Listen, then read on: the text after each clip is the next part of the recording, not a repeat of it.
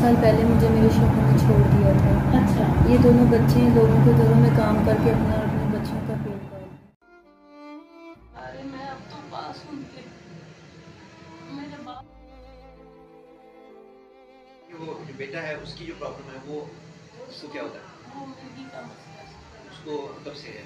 उसको तो ये वो एक साल का था जब उसको पहली दफ़ा ये मसला हुआ था। कि वो बच्चा है तो उसको इमरजेंसी में जैसे ले जाना पड़ता है या कुछ ऐसा होता है। रहता है? कि हम ना बहुत हकीकी काम करें। इनका जो ब्रोकर था उन्होंने जिस तरह से इनको हिरासा किया उन्होंने उसको जब हमने इनको तकरीबन सिक्सटी थाउज़ेंड की अमाउंट दी थी तो उसके बावजूद वो फिर आगे साठ हज़ार मांग रहा था। इनको भी ब्लैकमेल कर रहा था मैं आपको घर से नहीं जाने दूँगा। पता इनका कोई है नहीं है नहीं? और ये इतने तशद का शिकार रही कि इसने इतनी मारे खाई हुई ये कहती कि मैं बैठ उठ भी नहीं